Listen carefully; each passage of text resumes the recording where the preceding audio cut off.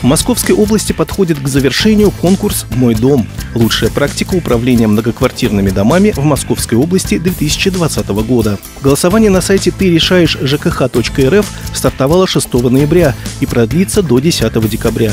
Заместитель главы администрации Одинцовского округа Михаил Каратаев сообщил, что в ходе отбора в финал вышло две управляющие компании из нашего муниципалитета – ООО «УК Открытие» и ООО «Второй завод».